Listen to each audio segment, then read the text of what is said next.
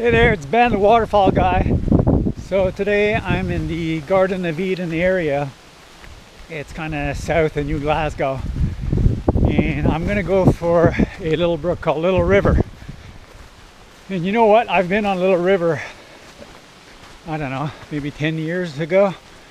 Um, followed up one of those uh, old maps from the 1890s uh, showing a waterfall on this river. And I do remember bushwhacking a whole lot and then getting to, I don't know, maybe a two or three foot fall and uh, following the brook a little bit. Maybe I missed something. Never did find anything. Anyways, fast forward a few years and now with satellite imagery, I'm actually spotting some new features on this little river and I think these might be the falls they were talking about. Um, one of the things about these old maps is that they show falls. They might not be super precise in where they are. I kind of look at the river, different bends and whatnot, and guesstimate where that is and go for it. I think that time I missed it, and the topography doesn't really show anything either. So I just thought there was nothing there but maybe today I'll be lucky.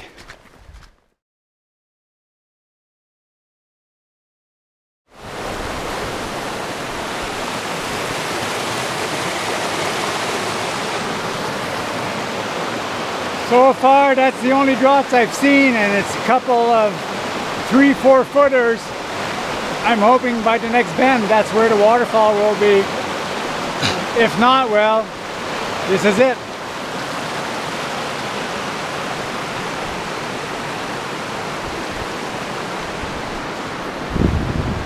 So nothing new so far, but I kind of was expecting this from the, uh, the topo. It just didn't have a lot of contour lines, but those imagery really showed a long white streak. But as you can see, that's what it is. It's just a series of cascades that creates that effect. So you think it's going to be a big fall, but actually just a long rapid. Luckily, it only took me about 15 minutes to get here, so it's not a big loss. It's still kind of nice and uh, you know maybe six tons out out of ten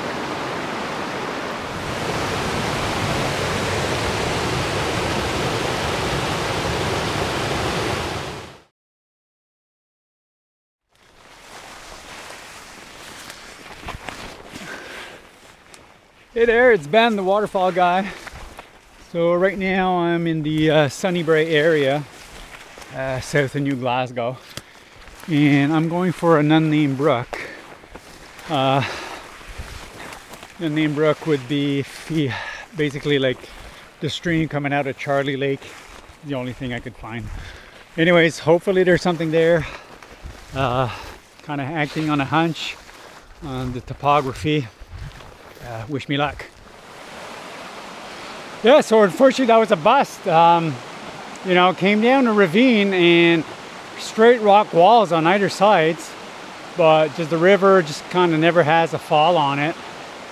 Kind of too bad. Gorgeous little spot, no falls, but you know, better luck next time.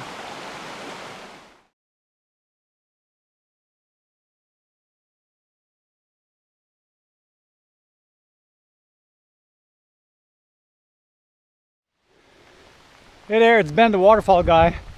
So today I've kind of been unlucky where I tried for two different new waterfalls and both were kind of a bust. Fortunately, I'm in an area that's got a well-known fall. Uh, it's in my book, it's on TrailPeak, and I could stop by and actually have a look at a real fall before I have to head home. Here is a Glencoe Fall.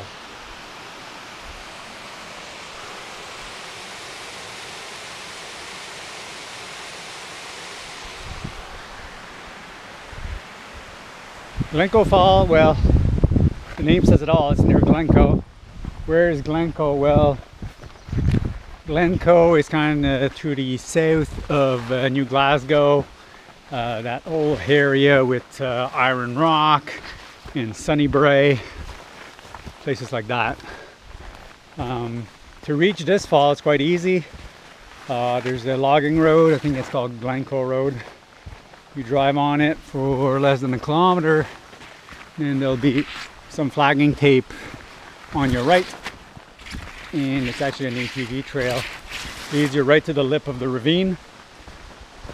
In order to get to the base I usually go to uh, the downstream end where there's a, like a knife's edge that you can follow all the way down to the stream. And then I just walk up maybe 100 feet back to the fall.